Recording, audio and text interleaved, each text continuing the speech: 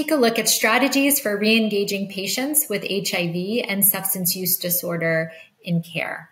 There are lower rates of retention in care among people with substance use disorder, and people who inject drugs who identify as male have a lower viral suppression and care engagement rates compared with other people living with HIV. Individuals who inject drugs, their retention and care may be impacted by social determinants of health. In 2018, about 64% experienced homelessness and 21% had no health insurance. And a survey of participants in the CDC medical monitoring project showed that 79% of people who injected drugs had met had unmet ancillary needs outside of HIV care and most common needs identified were those including dental care, drug and alcohol treatment, transportation assistance and also peer group support. People who inject drugs are often more likely to experience healthcare discrimination, often looked at as if they may be drug seeking or um, or, or accessing services for um, reasons other than true medical care. The principle of harm reduction is any positive change as defined by the person at risk for harm. It really is about meeting people where they are and providing the tools and information that they need to keep themselves and those around them healthy. And the principle of harm reduction, in essence, provides non judgmental care. It should fight discrimination. It does not necessarily require abstinence, but it's not against abstinence.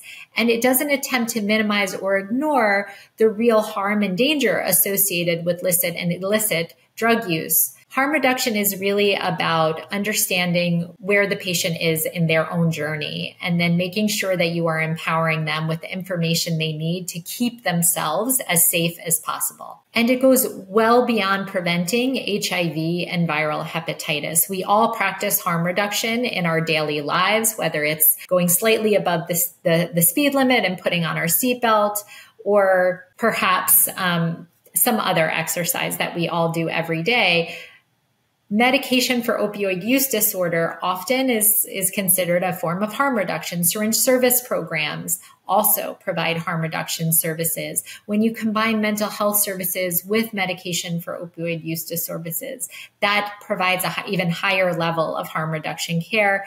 Prevention of injection related wounds or secondary infections, whether they're bacterial or viral, Overdose prevention and response is a critical piece of harm reduction.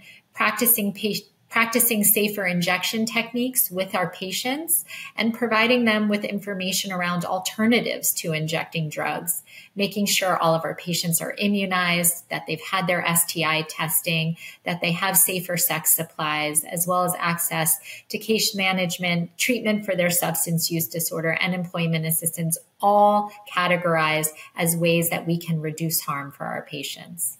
What is medication for opioid use disorder? Well, it is a safe and effective way to suppress illicit opioid use. It improves physical and mental well being, and it also has been demonstrated to improve adherence to antiretroviral therapy. Retention and medication for opioid use disorder programs have shown substantial reductions in the risk for overdose mortality, as well as a risk as well as reductions in the risk for all cause mortality mortality.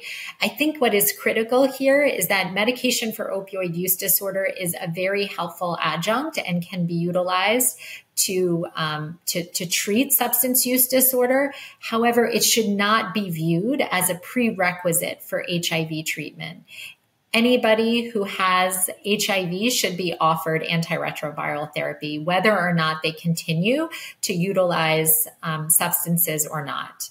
Examples of medication for opioid use disorder include things like buprenorphine, naltrexone, and methadone. There are a multitude of strategies to re-engage people with HIV who also have concomitant substance use disorder, collaborating with community partners, particularly in individuals that may be running syringe service programs to identify patients who are living with HIV and linking them to care is critical. Um, approximately 50% of people who inject drugs use syringe service programs, which can also provide referrals to wraparound services, HIV treatment, medication storage, and medication for opioid use disorder.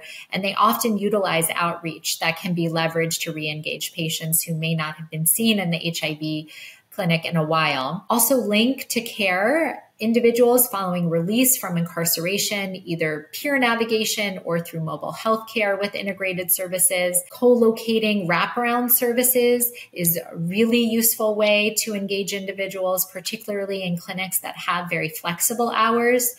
And I think really making sure that every patient who desires to engage in medication for opioid use disorder has access to it. And even co-locating HIV medication dispensing with, let's say, daily methadone medication dispensing is a really effective way to get patients both medications that are life saving. And case management can always be useful to address the need for multidisciplinary care and, and things that are unique to people who happen to be injecting drugs. They may be more likely to experience homelessness or have challenges around transportation or access to financial resources. As I mentioned, combining HIV treatment with medication for opioid use disorder can be a really um, impactful way to provide treatment. There's an integrated care clinic at Zuckerberg San Francisco General that does exactly that. It provides care to patients with high rates of homelessness, substance use disorder, and mental health comorbidities. It provides medication for opioid use disorder, HIV primary care, mental health, directly observed therapy, as well as case management. And looking at the outcomes of this program demonstrates that integrated medication for opioid use disorder and HIV care shows better HIV outcomes and engagement in care as measured by retention in care and virologic suppression. It's really important to locate resources for harm reduction in your community. And as practitioners understand where we can be directing our patients so they can stay safe as possible, you want to be looking for syringe service or needle exchange programs, naloxone distribution locations, medication for opioid use disorder clinics, and local recovery alliances. And there are resources available to you on this slide that can point you in the right direction.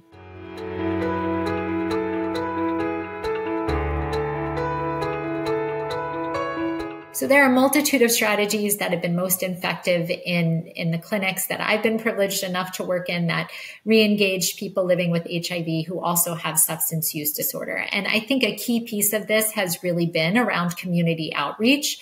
We've had a team of individuals that will, will partner with the syringe service program and other programs that provide medication for opioid use disorder they will go out to the patient um, and and find them um, at at their last known address if they've consented to to allowing that to happen. We also have these partners that are situated at various different community sites that are um, we're working with us, and we have we have paperwork in place that allows us to share protected health information between sites so we can find patients that way and outreach to them and offer them re-engagement. So I think having a big community network is often very help in providing um, a safety net for patients and an opportunity to give them multiple touch points to re-engage in, in HIV care as well as, as substance use disorder treatment.